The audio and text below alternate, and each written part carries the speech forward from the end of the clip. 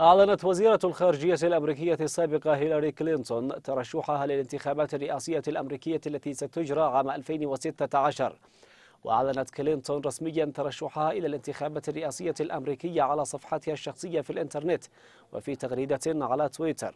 وتعد هيلاري كلينتون المرشح الرسمي الوحيد للانتخابات التمهيدية للحزب الديمقراطي حتى الآن.